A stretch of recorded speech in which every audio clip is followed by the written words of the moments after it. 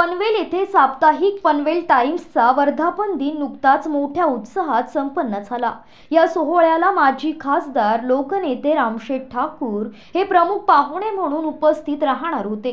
मात्र व्यस्त कार्यक्रमांमुळे त्यांना या सोहळ्याला उपस्थित राहता आले नव्हते. पनवेल टाइम्सचे संपादक गणेश कोळी यांनी गुरुवारी लोकनेते रामशेठ ठाकूर यांची भेट घेतली. त्यांनी वर्धापन दिनानिमित्त त्यांना शुभेच्छा दिल्या.